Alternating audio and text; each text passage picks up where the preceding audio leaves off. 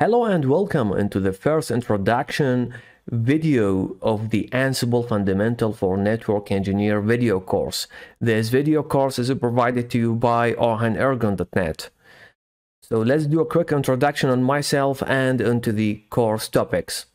So my name is Omar Adel.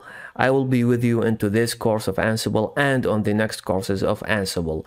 I have worked in an ISP company, data center, banking, my favorite, of course, the development, the DevOps. I'm now working as an IP security engineer in a telecommunication. Regarding the training and instructing experience, I have more than four years in a class, class-led rail, uh, rail instructing, and of course, experience with pre-recorded video courses. About the certification and the skill that I have, you may see it in the screen regarding the Cisco, CCNA, CCNP, Microsoft MCSA, uh, design, automation, security with big names such as Palo Alto, Fortinet, NSE4, NSE7. Of course, I have skills with VMware, vSphere product such as the ESXi, the vCenter, etc., etc. With Linux, my favorite is the Red Hat mainstream, and of course, with the loved one to the network engineer Ubuntu. I'm a big fan and a big network automation guy using the clean code of Python and of course the best network automation tool or the best automation tool which is Ansible and that's what we will have into this course. Let's take a quick look about the course topics, the course syllabus that we will handle. We will start with answering a very important question. What is Ansible?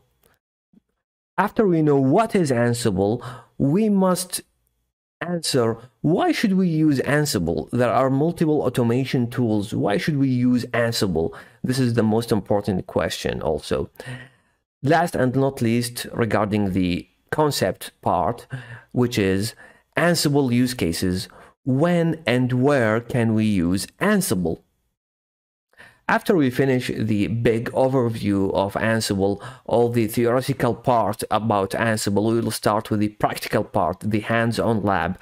The first thing that we will learn regarding Ansible fundamental course is how to set up the lab so lab setup is a very big topic that we will handle onto this video course, how we will set up our local lab, how should we install the virtual machine, what are the prerequisites of the Ansible, and after that, finally, we will install Ansible. After we, after we prepare our virtual environment, our lab, we will start to configure and make the Ansible engine up and running.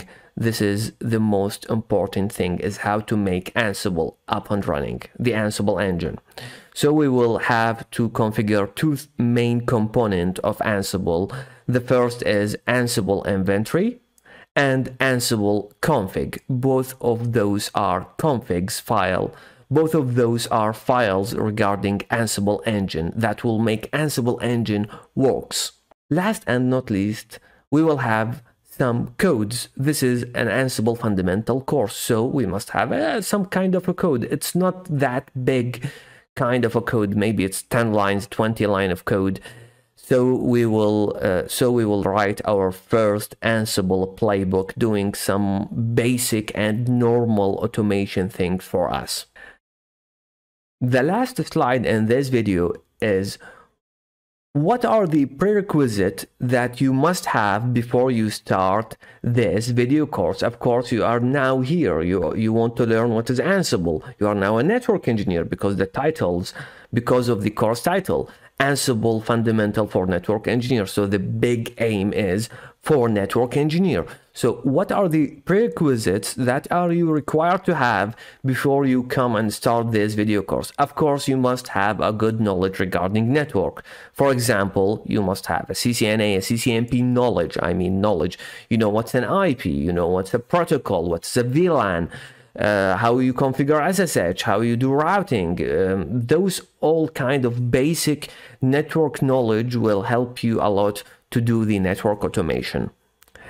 After that, you will uh, you must know what are the network automation overview and I highly encourage you to go into the CCNP enterprise automation part or even any automation part regarding Cisco topics because we will automate Cisco product in the first time, you must know what are the component of the network process, just the theoretical part. Why should we use automation? What is automation? Maybe what is SDN? What is Python? What is the automation tool? What is agent? What is agentless tool? All this all this non-practical approaches, non-practical information you must have before you come to this course. So this course is mostly like to go into the practical side. So you must know the theoretical before you come here.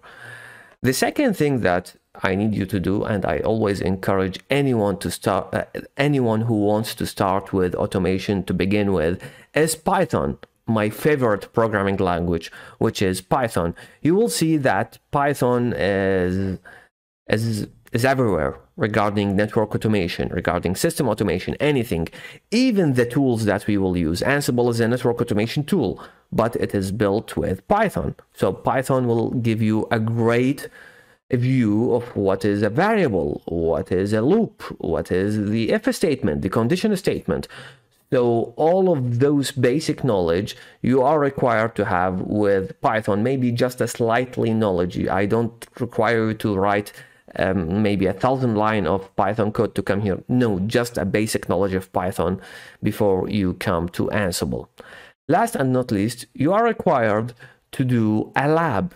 So regarding doing a lab, you will need a virtualization, a virtualization experience to create a virtual lab in my case, I like VMware. VMware provide uh, so much solutions such as the VMware Workstation, Workstation Pro, or even the ESXi.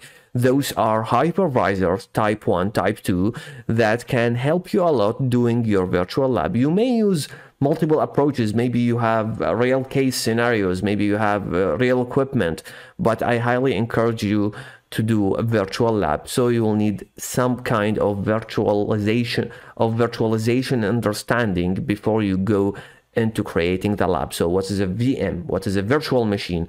What's a hypervisor? What is a virtual network? How can you how can you create multiple instances of the same node inside your computer?